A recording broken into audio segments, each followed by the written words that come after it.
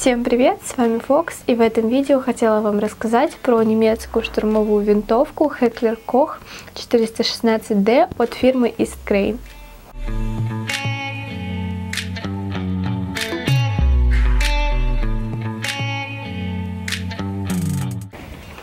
Итак, немного про боевой прототип. Боевой прототип использовался такими подразделениями, как DevGru, Delta, многими европейскими подразделениями, а также в других странах мира. Принцип работы газовой автоматики, ход газового поршня. А, эта система намного надежнее и чище, нежели когда пороховые газы идут прямо в ресивер, как это сделано у М4. Итак, теперь а, конкретно об Исткрейн. Многие думают, что Исткрейн это тот же самый D-Boys, но нет, Искрейн не имеет э, ничего общего с компанией D-Boys. Как вы видите, у Искрейн получился очень копийный привод.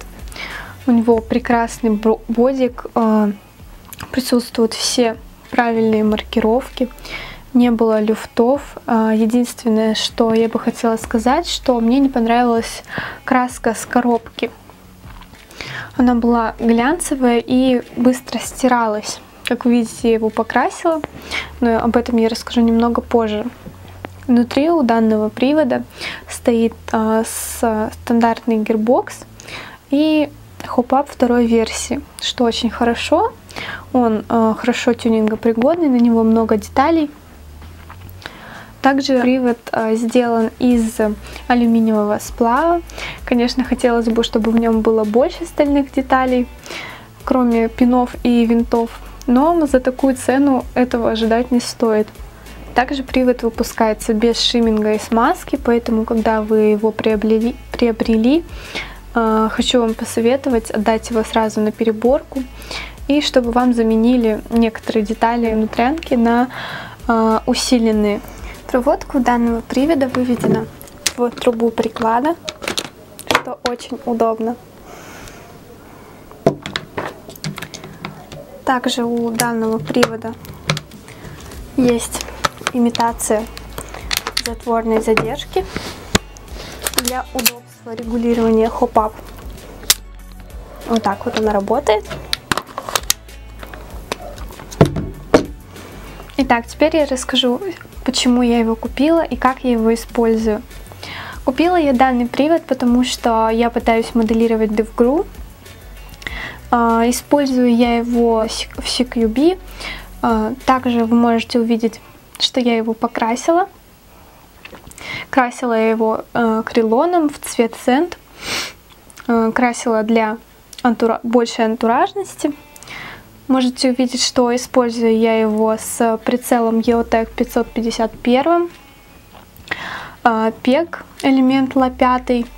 Прикрепила его кнопку вот такими резинками.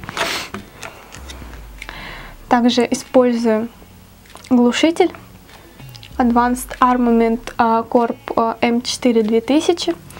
В комплекте с ним шел стальной пламегаситель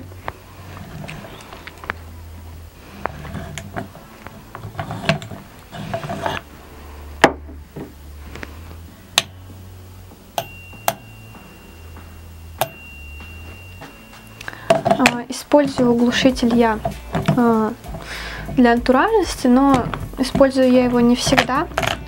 В зданиях использую, э, в зданиях использую привод без глушителя, так как он компактный и без глушителя его намного удобнее использовать. Также вы можете увидеть у меня рукоять э, Макпул.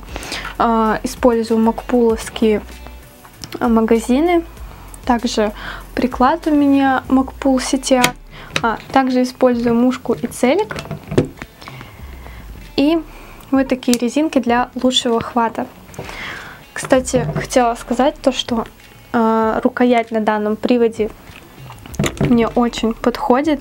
Хоть у меня и не такая большая рука, но сидит она в ней отлично.